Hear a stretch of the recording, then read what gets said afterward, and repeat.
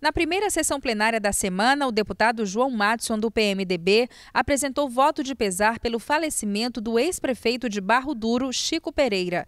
A deputada Juliana Moraes Souza, do PMDB, parabenizou o município de Buriti dos Lopes pelos seus 84 anos. No pequeno expediente, o deputado Robert Rios, do PDT, exaltou a atuação do deputado federal Silas Freire na promoção de discussões acerca da segurança pública no Piauí.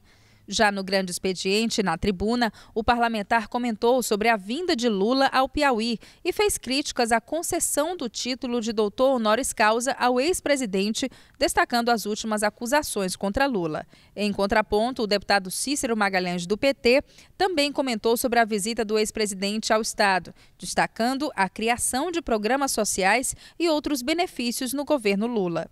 Na terça-feira, no plenário, foi realizada a sessão solene com a entrega do título de cidadania piauiense ao coronel do 2 BEC, Alessandro da Silva.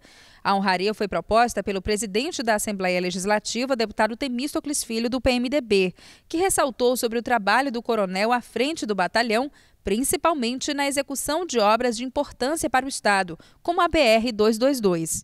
Em seguida, na sessão plenária, o deputado Fernando Monteiro, do PRTB, repercutiu sobre a entrega da Medalha do Mérito Legislativo Municipal e parabenizou o ex-deputado e ex-presidente da Assembleia Legislativa do Piauí, Jesualdo Cavalcante, um dos homenageados no evento. O deputado Dr. Hélio do PR comentou sobre visita realizada pelo parlamentar à inauguração de obras do governo no bairro Itararé, especialmente sobre a inauguração de uma escola no bairro. E na sessão plenária da quarta-feira, o deputado Dr. Hélio do PR solicitou ao governo do estado a construção de um centro de reabilitação em Floriano parlamentar adiantou que a Secretaria Estadual de Educação já está empenhada na execução do projeto, que deve beneficiar os moradores da região sul do estado. Gustavo Neiva, do PSB, solicitou à Secretaria Estadual de Educação a regularização do sistema de transporte escolar no município de Redenção do Gurgueia. O deputado também subiu à tribuna para comentar sobre a situação do município de Curimatá,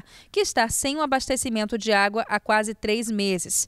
O parlamentar cobrou do governo a construção de uma adutora, na qual o projeto já existe, e deve sanar o problema da água no município. E o deputado Rubem Martins, do PSB, apresentou voto de louvor para a piauiense Lair Guerra. A biomédica, que é natural de Curimatá, foi indicada para o Prêmio Nobel da Paz pelos seus relevantes estudos no controle da AIDS.